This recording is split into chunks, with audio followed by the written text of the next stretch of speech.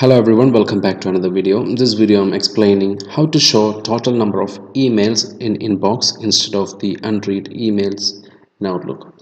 So I already opened the Outlook. You can see here on the left side in inbox, you will see two is written over there. What is this two? The unread emails in our inbox. So if I'm going to click one of these emails and if it's converting to um, a read status, like for example, I make it read and you can see here on the left side one item is um, decreased because I have only one uh, unread email.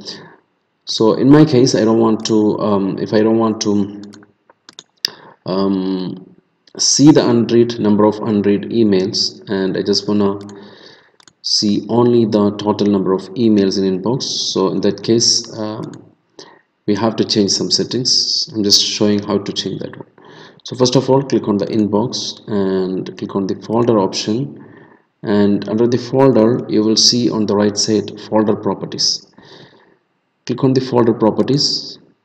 And here you have the inbox automatically chosen since we have already selected that one. And under the description you will see show number of unread items. So this is the um, settings that which shows the number of unread items in the inbox. So here you're gonna switch to the show total number of items and you just need to click on apply. So whenever you press apply you can see here inbox 271 is showing there which means 271 uh, total emails are there already. Alright and click on ok so that automatically these settings come into effect and you will see only the total number of uh, emails in that particular folder.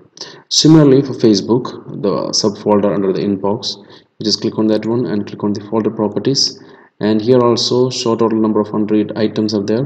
You just need to click on show total number of items and click on apply and ok. So you can see here 737 emails are there in the Facebook folder. So um, it's up to you whether you want to choose the unread emails or total number of emails. Some people they will prefer the total number of emails um, so that they can um, organize the emails archives and all this stuff.